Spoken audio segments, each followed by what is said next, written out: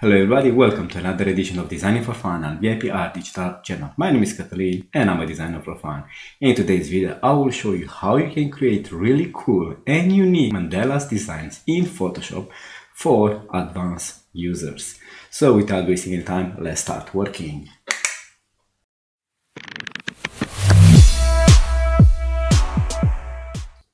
Hello and welcome back to my computer. And before we start, I want to tell you one thing is that by trying this approach that I will show it to you now will make you unique on the market. This means those kind of mandalas, they will not exist nowhere on any POD platforms whatsoever. And that will be a huge advantage for you if you are trying to hit this trend. So without wasting any time, let's start designing, shall we? So let's create a new file project. I will choose a Redbubble blanket dimension that is 7632 by 6480 and let's click create. As you can see, my Photoshop is turning crazy and let's create. First thing first, let's create a new layer and let's choose um, the shape tool and we're gonna choose ellipse tool. Let's fill in with a black color for example, no stroke, and let's draw a perfect circle, shall we? So I will hold shift, drag and draw. I will try to make the circle as close as possible to the entire canvas and let go. Once we have the circle, let's use the move tool and let's center it to the canvas. And how to do that? Just click on the three dots, make sure align to canvas is selected and then center, center. Now we want to cut this circle in half, but before of that we need to draw some guidelines. So here we have the rulers. And by the way, if you do not see them, just hold Ctrl or Command plus R to bring them. Click and drag until they snap to the center. We're going to do the same for the other side. Now we want to go to this ellipse 1 layer and we want to rasterize it. So right click or Ctrl on the Mac, rasterize.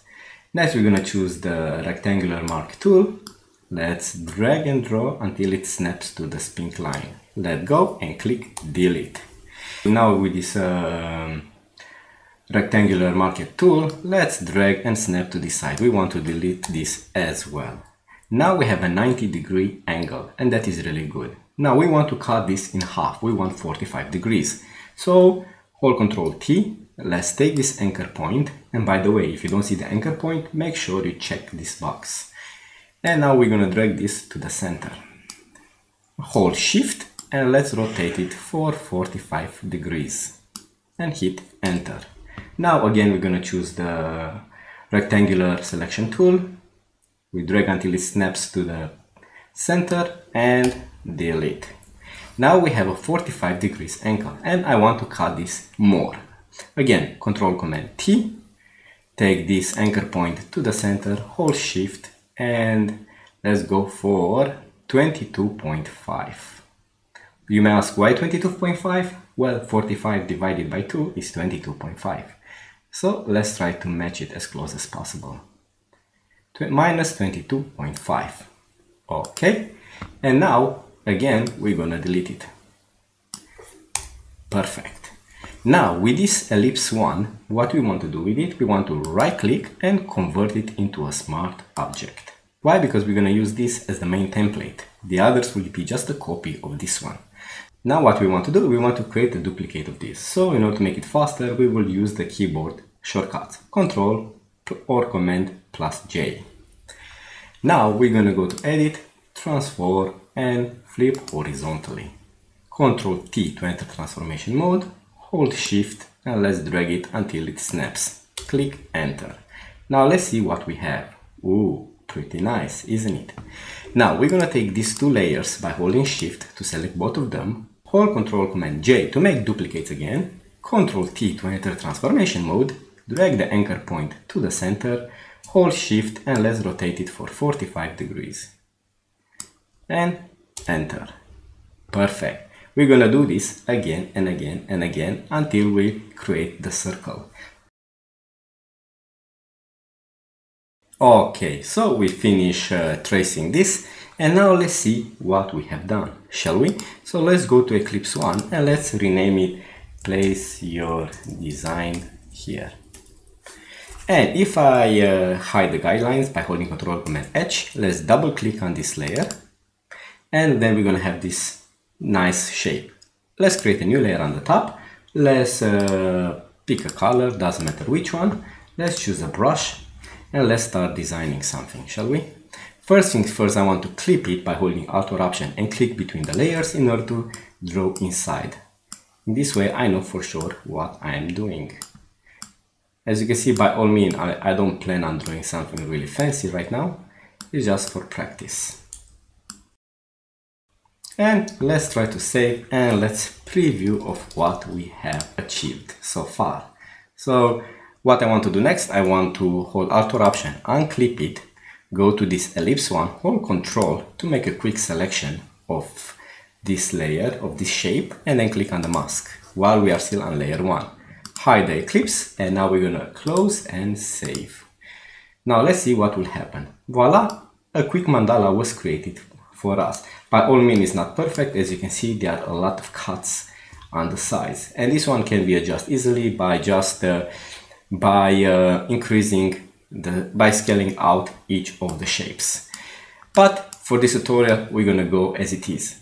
Now you may ask, what's the point of doing all of this? So let's select them and group them. What's the point of creating so many individual shapes? Well, let me show you why. So if I create a new layer, and here I will choose the brush tool, and then I'll go to symmetry, mandalas, and then I'll let's write 10, you may say, why not using this specifically? Why do I have to create others? Because you can see this one is really fast and is perfect. Well, for this one, there is a downfall when you're using this symmetry tool. And the downfall is you can only use the brush or the pencil, nothing else. So if I want to come here, for example, and choose color replacement, you get an error. If I came here and choose mixer brush, it won't work. If I go to the shapes and let's say I'm trying to make symmetries of the shapes, it will not work. If I even try to put photos by using the symmetry tool available in Photoshop, it will not work. So that is why it's better to create your own symmetry, your own mandalas using shapes and mirrors. Why? Well, let's try to find out. So if I go again, place your design here, okay, and let's bring in the shape. Let's delete this one. Let's create a new one on the top. And let's see. This time I want to use a built-in shapes. As you saw before we could not do it. So I'll choose custom shapes. And here let's pick up some shapes from here shall we? So I can choose flowers for example. And let's hide this one. And this is what we have let's close and save and voila we have created a really fast and unique mandala approach. Imagine if you actually try to draw this by hand, it will take you uh, quite a significant amount of time, especially if you don't have nothing planned beforehand. As you can see, just using the custom shapes uh, built in in Photoshop, I was able to create this really fast. And now let's go back here and let's delete this one. Let's create a new one and let's hide the shape a little bit. Why? Because I want to show you something else. How you can build really nice 3D brushes.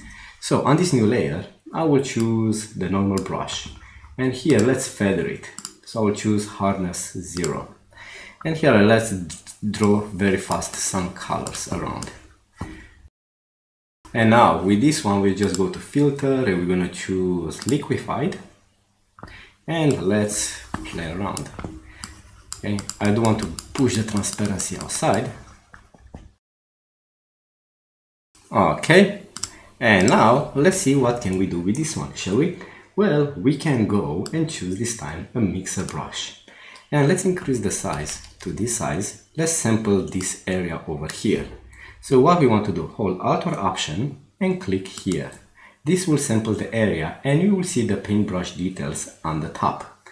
Next, what we want to do let's hide this layer, let's bring in the ellipse, and let's create a new layer. And now I can start drawing some mandalas, really nice ones.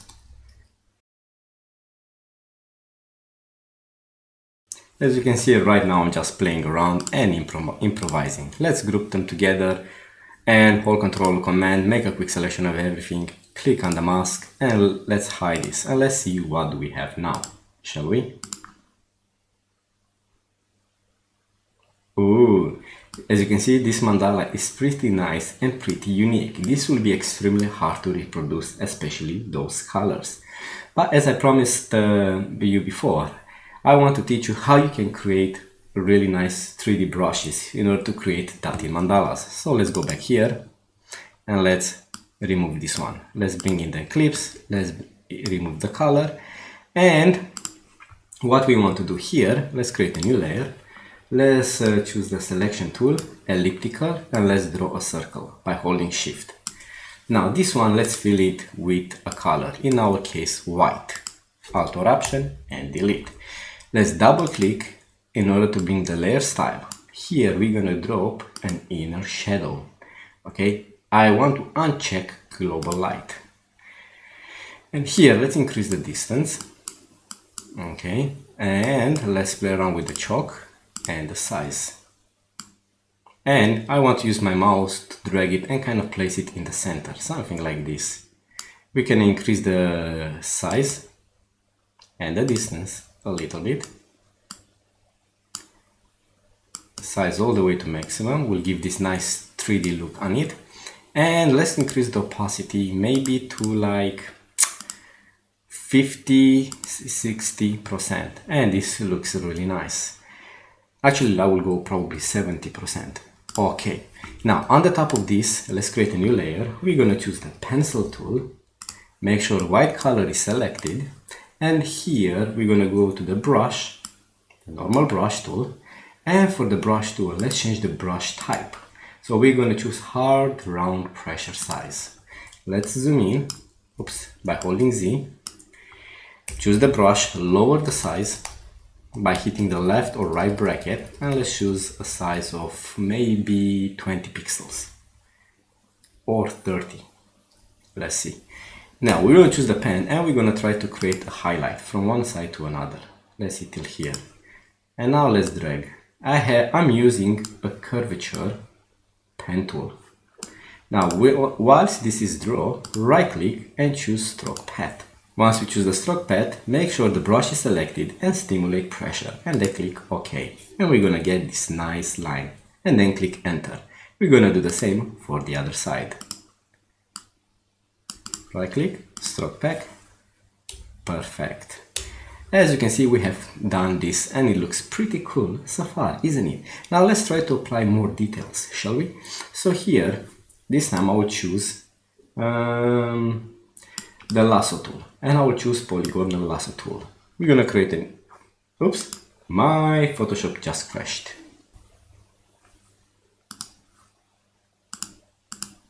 Okay, so uh, I have to redo it again very fast.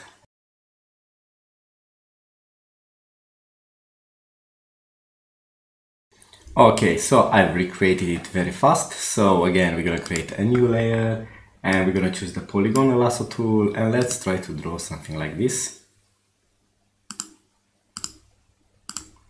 Okay and enter. This one we're gonna fill it with white alt option and delete.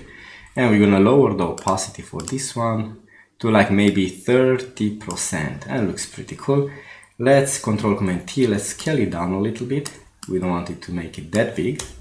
And let's create other ones. So we're gonna go here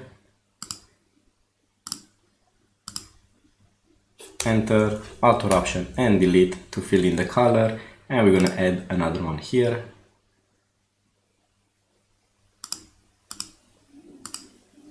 Enter, alt or option and delete and again here you can experiment, you can add as many details as you want. But let's say for this video tutorial example, what we have created so far looks pretty cool and we're gonna transform this into a brush. So what we want to do, we want to take all these three layers select them, right click, convert them into a smart object. Then we want to hold Control Command on this and click on the thumbnail to make a quick selection around it. We're going to go to Edit and then here define brush preset and let's call this bubble. And then we're going to click OK. Now let's hide it, Control Command D to deselect, let's bring in the shape and now let's see what we have. So we're gonna come here and just click. As you can see, this is the end result that we have. But on the other hand, I do want to create another brush to see which one is the best option. To have it like this, or let's invert it by holding Control Command plus I to invert the colors. Let's hide the ellipse, hold control command, go to edit, define brush, preset, and OK. Now let's see what is the difference between this one and the previous one, shall we? Let's use the brush, let's create a new layer, and voila. So in our case, what we wanted, after we have created our design, our initial design, we want to invert and that is really important to know. Why? Because now if I want to change the color, let's see red, see what will happen. This is what we're gonna get. Let me zoom in. Check it out. It looks really cool. Not perfect, better. Let's compare to the previous one. So if I go back to the brush and try to select the brush by scrolling all the way down. So if I go to the previous one that we have just created initially without inverting, this is what you're gonna get. So in my opinion, the best results for this 3D brush will be to just invert the design by hitting Ctrl or Command I. Okay, now with this uh, covered, let's remove these two layers and let's create a new mandala out of them. Let's create a new layer and let's draw. Again, let's sample the other brush because that is the important one. And let's see what we're gonna get now.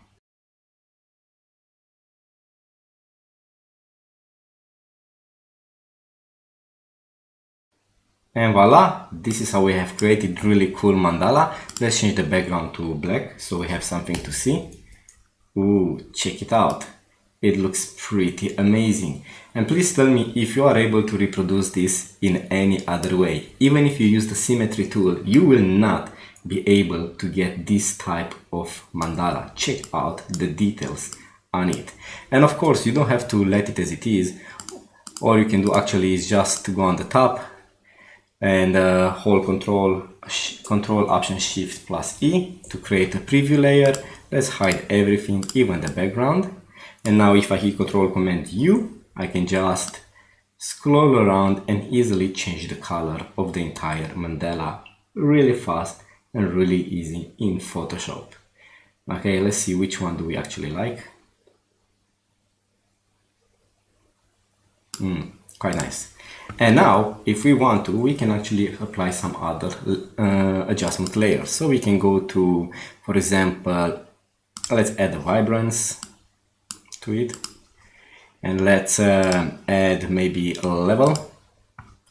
And let's uh, play around with the settings to see what we get. Now, the brightness I don't want. I can go with the contrast. Ooh, pretty neat.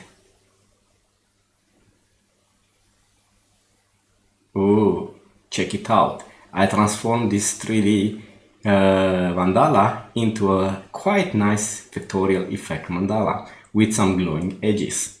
Eh, quite nice. It's really fun to play around with Photoshop to get different results. Okay, let's delete. Now let's see what else can we create really fast. So let's go back here. Let's open place your design let's delete this one. As you can see, this is a really nice way to create custom brushes in Photoshop and use them. And let's delete this. Let's bring it back. What if I want to use, for example, a design or something like this? Let's open um, something that I have here, maybe my last design. Okay, and from here I want to use this splash, so I'll just take the splash and I'll just paste it here. Okay, I don't see it because it's too big, so we need to scale it down. And let's place it. Maybe I only want a part of it.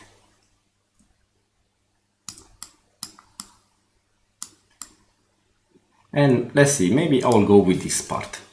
And let's uh, hold control command, make a quick selection of everything, go to this one and click on the mask. Okay, in our case we already have a mask, let's remove that one and now let's click on the new mask. Now let's remove the background, let's close and let's preview what we have now. Oops, I don't want this. Ooh, check it out. It looks pretty cool and this one will look really nice as a background for some of your character designs that you can actually place them into the center. And by the all means, if you don't want to spend so much time creating those 3D bubble effects, you can actually go here and let's write, for example, 3D bubble. Let's see what we get. Well, we get these ones, they are pretty neat. Oh, this one is really nice. Let's try to download it. Ooh, nice. Download. Now I want to see what can I do with this photography. Will I get really nice mandala designs out of it? Let's try to find out. Show in Finder. Let's go back to Photoshop. Let's enter inside here. Let's remove this one. And let's bring in the marble. Okay. We do have the transparent, we do have the white background. It's okay. I will just remove it very fast. let's rasterize it. Choose this tool. Delete. Perfect. Now, I do want to convert it back into a smart object because I don't want to lose no details while I'm scaling it and playing around with this. So I can just place it around. Again, this one, if I want, I can actually convert it into a brush. Or I can just easily just select it here, Control Command plus J to make a duplicate and just play around with it, placing it and let's see what we're gonna get.